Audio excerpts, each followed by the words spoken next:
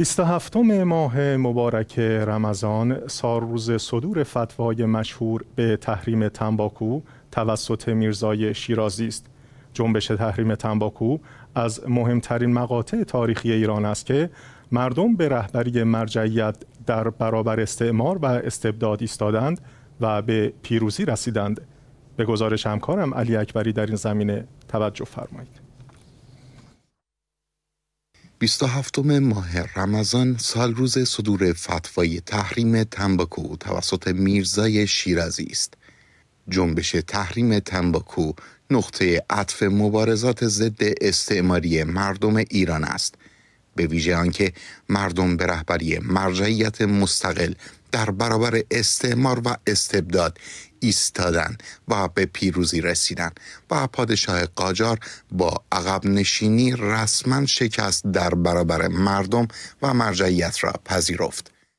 به دلایل تاریخی و ژئوپلیتیکی ایران هیچگاه به صورت مستقیم توسط استعمارگران مستمره نشد اما به ویژه استعمار بریتانیا تلاش می کرد با تکیه بر ضعف حاکمان مستبد و طمع ایشان منابع و ثروتهای ملی ایرانیان را به یغما ببرد و اصطلاحا به استعمار منابع و ثروت ملی ایرانیان بپردازند.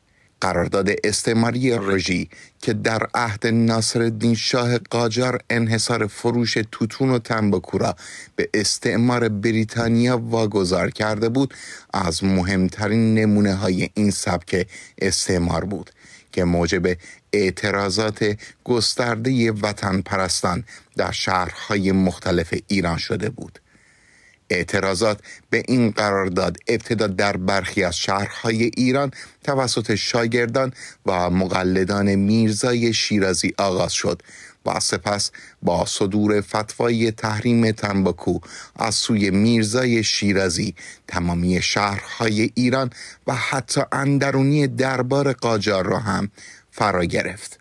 این قرارداد علاوه بر استعمار بخشی از منابع ایران سرنوشت تمامی دستن در کاران توتون و تنباکوی کشور ام از تاجر و خورده فروش و زاره را در بست در اختیار استعمارگران قرار می‌داد و اختیار هزاران زاره تاجر و کاسب در گروه منافع اجنبی بود. جنبش تحریم تنباکو و فتوای تاریخی میرزای شیرازی یکی از مهمترین نمونه های تاریخی است که نشان می دهد مراجع مستقل شیعه همواره مدافع حقوق مردم بوده و در برابر حاکمیت های استبدادی و استعماری در کنار مردم بودند. اتحاد و یک پارچگی ملی در حمایت از مرجعیت مستقل عامل اصلی پیروزی جنبش تحریم تنباکو بود.